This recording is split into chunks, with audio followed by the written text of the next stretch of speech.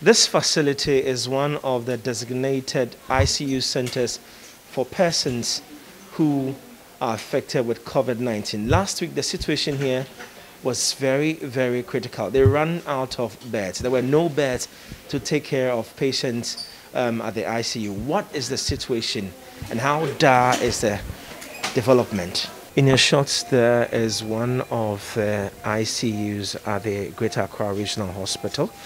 Patients on admission uh, battling for their life as a result of the COVID 19. Is it as a result of the new wave or a different strain of the virus? Let me speak to um, Dr. Adepa. He's one of the lead um, doctors here taking care of the patients at the hospital. How bad was the situation last, as of last week? Last week, uh, the ward was almost full. We, we have a 16 bed capacity, and uh, from last week, we had close to 14 patients on the ward. Uh, and these days, uh, we run the COVID tests in house. And therefore, every patient that comes in as a suspected case, by the close of day or the following day, results come. With this facility, give us a distinction between the numbers or the figures as of last week and then this week, and then how many casualties we have.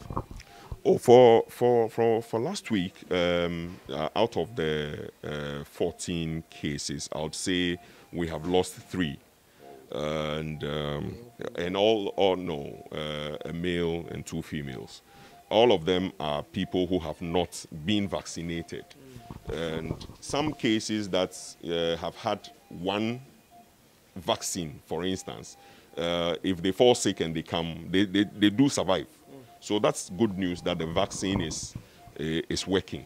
Out of the you know uh, three that we have lost so far. One one passed yesterday, and so yeah, so we we have um, uh, eight people on the ward now out of the I mean out of the the lot. So um, it is. I will say that uh, you know uh, the survival rate is still uh, on the high side, but. Uh, we still can can do more to you know uh, on our part as people a patient at the ICU has agreed to speak to us to tell us her story.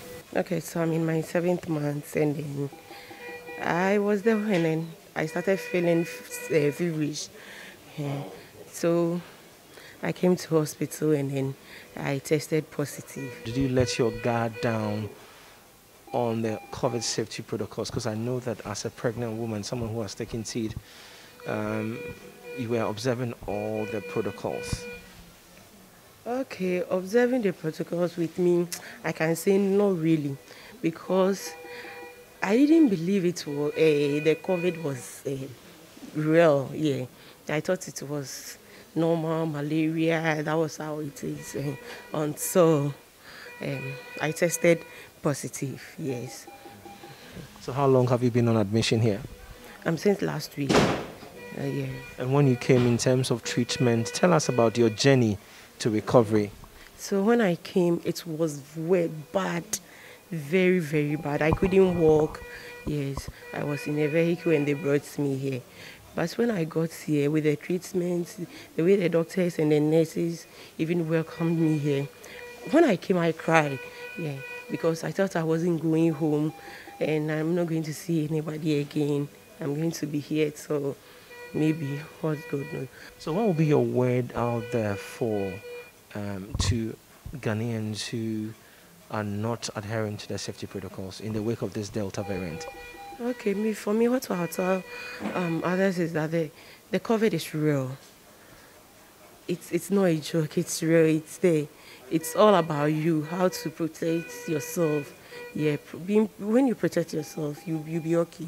We're still talking to some more um, persons who have been infected um, with COVID 19. There's one more pregnant woman here. She, she's taking seat. Let me ask her her journey, her road to recovery. Um, Mami, Pacho, ete say. Pacho, mi hune. Na mami, eh, ebane say ena oba rage ha say. Hmm. Mi yare ena mi ba afa. Ahona mi continental. ɛhɔ no na me start bɔɔ wɔ mebɔ hɔ bɛyɛ sɛ four days ɛna ɔmo transfer baa ha. Ɔmo bɛyɛ test wɔ hans na menya menim sɛ menya yareɛ no bi. Ɛna mo transfer firi ɛhɔ nom baa ha. Nti ɔmo ɔmo yɛ sɛ ɔmo de wo ɛreba ha sei no. Ɛɛ na oyare ompo mu te sɛn ansa na ɔmo de wo ba ha sei. Ɛɛ na mesuro mesuro paa sɛ mene menim baabi a ɔmene me kɔ. Menim menim sɛ woafa afuro how many months ne Ah, seven months. Almost one weeks nti um, sɛsi a na um, deɛ na adɔktafoɔ no ka kyerɛ wo ho atɔ anaasɛ ɔmo gu so ɛmma wo nnuro? Oh cecilia meho atɔ me kakra. Nti ɔmo gu so ma me adwuro That is the situation at the ICU center of the Greater Accra Regional Hospital. A word of caution to you out there. You need to make sure that you constantly observe the COVID 19 safety protocols to stay alive.